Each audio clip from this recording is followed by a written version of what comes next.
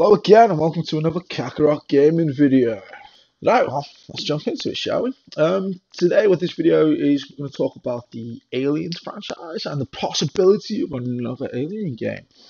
So, um, as you know, Fox have been kind of teasing and hinting at a, at a few different things recently, so I'm going to start from the very beginning and for those that don't know and work my way forwards. So, um, as of last year, Fox said that they were going to in development a new Alien game. No details of what it was. It's just saying that you know, an Alien game is in development at some point. You know, a few months off, a few months on, and eventually we found out that they they confirmed that the studio making the so-called Alien game was Cold Iron Studios. Now, Cold Iron Studios is a studio owned by Fox they don't really have any major AAA experience, uh, but they've got a lot of games under their belt, mostly to do with like MMOs, uh, the multiplayer side of games. Um, so for them to take on an Alien game is um, somewhat a little bit left field of what they're usually used to, unless this Alien game obviously turns out to be like a multiplayer or kind of MMO or kind of multiplayer integrated into it somehow, shall we say. So yeah, you know, whether or not Fox has other studios out there obviously working on other Alien games.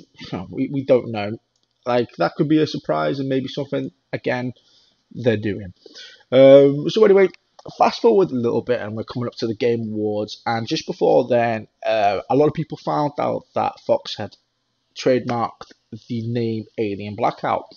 Now, Alien Blackout could be associated with loads of things, but um, the most interesting thing is they is they trademarked it under video games and entertainment. So you'd like to, you know, put one and one together.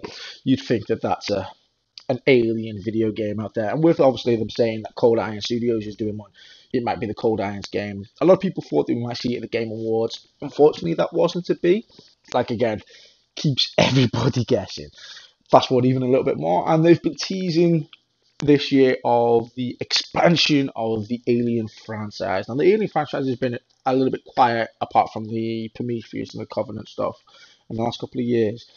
I know, and the way that they said they were expanding it could be various different things. I mean, they announced a Aliens comic called Aliens Resistance, which was like a natural successor, like a sequel to the Alien Isolation game, which was released in 2014 um, which the first volume is also set to be released in January 2019. So if you're interested in that, I would uh, go pick that up. As they continue to as they've continued to tease new and exciting things, they've now tagged more things in. Amanda Ripley, which is going backwards, is again Alien Isolation, uh, which is the thing that gets me a little bit hyped. Now again, they said that they were going to do stuff with the comics, uh, but it's the tagline, which is read, watch, and play.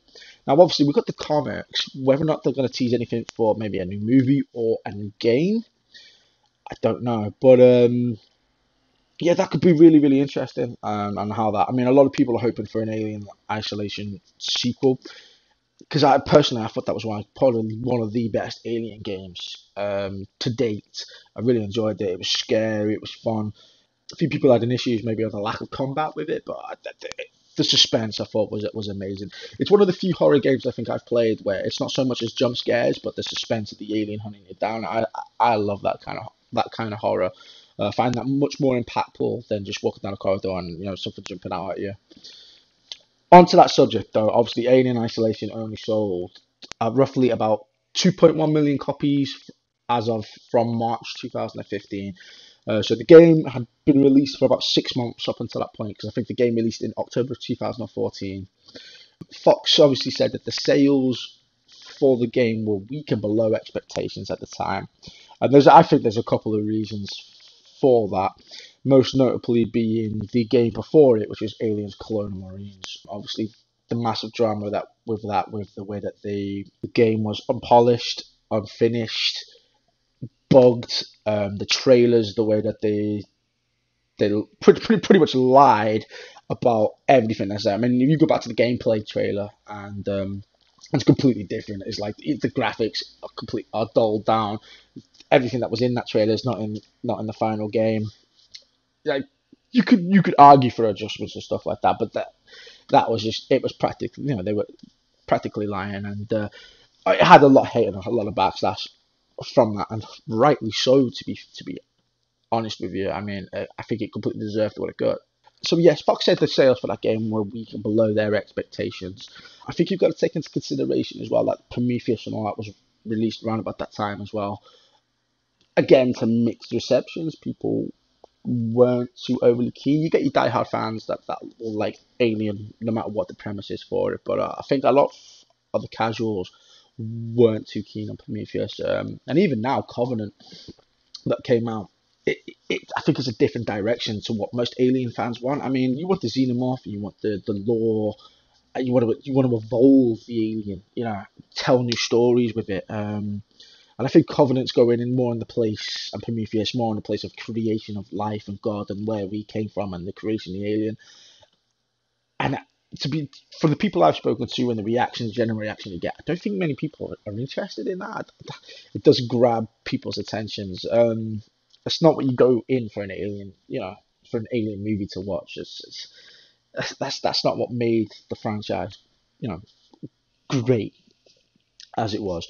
Uh, which leads me again onto this is whether or not this is the uh, Alien Blackout is the game or it could be an Alien Isolation sequel. No one's obviously confirmed that yet. It's everybody's hoping for that. Obviously, Fox, like I said, Fox has said there will be no sequel. Um, the guys who made Alien Isolation, um, Creative Assembly, the team that made that game have pretty much broke up on are doing other things, and they're working on other. They're working on um, other games and have said in the past that there is no sequel. So could the Cold Iron Studios Studios game be maybe a successor to that, but, but, but something slightly different? It could be, or it could just be a game where they're continuing the Amanda Ripley storyline, but maybe a different type of games, like like you could almost har- harness back to the, the original films where Alien was an outright horror, where Aliens was still a horror but a bit more actiony, and maybe they they may go that route with Amanda Ripley. Now she's had the horror experience on the Sevastopol. It might be a bit more actiony of, of breakout or something like that, or it could add Marines. There's, there's so much you could do there as long as they kept that I think, to the core of what made Alien Isolation great. Um, because Colonial Marines was, was was was just awful. Everything from the storytelling to, to the gameplay to the like I said the graphics, just everything was subpar. So is this the Aliens franchise's last attempt for a good game? I mean, you look at the history now and the, the merger that's going on from Fox to Disney, of with Disney buying out Fox, and I can't really see Disney doing much with the Alien games. I mean, they don't really develop their games in house anymore. Just look at the Star Wars franchise. As soon as they acquired that, they gave the license to EA. I mean, I might talk about that in another video, but as of right now, they don't really do much with games. So this might be Fox's last something they've had in the work before that merger is complete, and it might be the end of of Alien games, unless Disney decide to do something with the franchise. But I wouldn't be surprised, like I said, with Alien and with the Predator franchises being as mature as they are, that they might try to keep that under the banner of Fox, uh, away from their main kind of Disney brand for now. Or they might not. I don't know. It depends what their plans are. But uh, but I, like I said, I can't I can't see them making Eleanor Disney princess or the Queen. So yeah, personally, I think I lost riding on this game. Um, I think the sales for Alien Isolation were weak because I think people have been burned a bit too many times from the Alien franchise. Colonial Marines were still fresh in the mind. Uh, the movies weren't weren't panned, but you know they weren't doing brilliantly receptive uh, from fans and the casuals alike.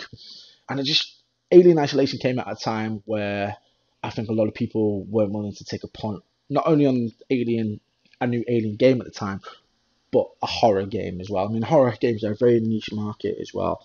Uh, some people just damn out scared to play the game, and I think those kind of things combined has really, really probably stopped Alien, the Alien isolation from selling as well as it has. I mean, like I said, six months on, it's still sold 2.1 million copies. So you've got to imagine that through sales, and it's been you know five, almost five years now since isolation. Jesus, that's not fast. That it sold more copies. I would not be surprised if it's maybe about 3.5, 3 million copies that now have been sold, probably in its lifetime. Which is pretty good. I, you know, considering that, like I said, with the, with everything that's happened at the time and before that, I think maybe I think over the couple of years, I mean, everybody's been screaming for an Isolation sequel, and maybe maybe Fox just listened for the first time. I think that's something they need to do as well. Too many companies don't listen to the fans, and it's the fans sometimes to tell you what they want. Fans aren't always right, of course, um, and sometimes what you know companies and stuff like that, our development teams can make absolutely brilliant, brilliant creative decisions. But I think you know, I think Alien Isolation will be I know a fantastic opportunity to progress that into into 2019 as well considering that this is Alien's 40th anniversary as well in 2019 so for Fox to come out as well and bash maybe a new movie or something or announce something uh, obviously they've got a new comic series coming out with um, Alien Aliens Resistance and, and the prospect of a new game dropping can breathe new life into the franchise, I think, which can only do it really good. The bad thing about that, or maybe the warning signs, are is if another Alien game now drops from whether it be from Cold Iron or from another studio that maybe we don't know about yet, and the game bombs, then I think the Alien franchise is in trouble. The, the last two movies have been overwhelming. I mean, you, even though the franchise as a whole now to the general consensus of the of the public, like Alien has like two good, two fantastic movies in Alien and Aliens. With the rest, obviously a lot of very debatable.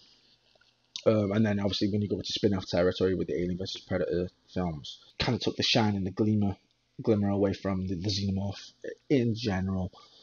But to be like I said, it, it's one of them. I'm really excited to see what they do. I'm I'm really stoked I want them to bring out an Outer game. I, I hope it's a, it's a sequel or some kind of form of successor to Alien Isolation 2. And as long as they keep bringing out stuff, I'll keep giving it to you, Slaughter. Um, yeah, so maybe it might be its last chance, but um, I really hope it's there because the Alien franchise deserves that, and um, I hope it gives us uh, something to look forward to. So, yeah. So, anyway, thanks for watching this video again, and as always, guys, stay frosty, and I'll see you next time.